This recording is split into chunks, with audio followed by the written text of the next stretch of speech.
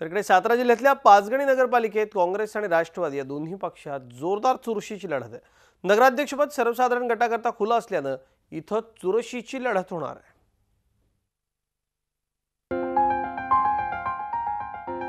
पाचगणी थंड हवेचं ठिकाण पर्यटकांचं फेवरेट डेस्टिनेशन आणि शैक्षणिकदृष्ट्या महत्त्वाचं केंद्र. पाचगणी नगरपालिकेत आठ प्रभाग असून एकूण सतरा जागांसाठी निवडणूक होते. नगराध्यक्षपद सर्वसाधारण खुल्या गटासाठी असल्यामुळे मोठी चुरस निर्माण झाली आहे. पाच गणीवर गेली बारा वर्ष काँग्रेसची सत्ता असून लक्ष्मी कराडकर नगराध्यक्ष आहेत.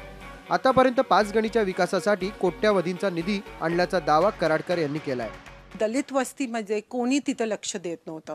एक मोठा समाज मंदिर उभारणं केलं आहे कॉन्क्रीट रस्ते बनवले गटरची सुखसुविधा दिली आहे स्वच्छताचं प्रमाण खूप आहे आणि पाणी उपलब्ध केलेलं आहे. या पाच वर्षाच्या कारकीर्द बरेचसे विकास कामं इथं आमच्या अंडर झालेल्या आहेत.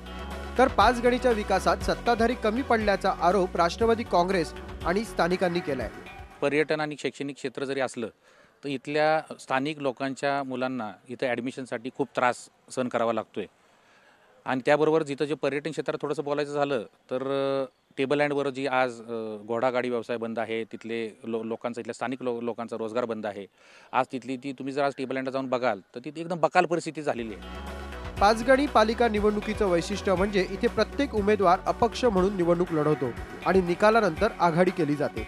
यावेळी नगराध्यक्ष पदासाठी काँग्रेसच्या लक्ष्मी कराडकर राष्ट्रवादीचे शेखर कासुर्डे उदयनराजे समर्थक सचिन भिलारे आणि भाजपचे जावेद डांगे यांच्यात लढत होणार आहे.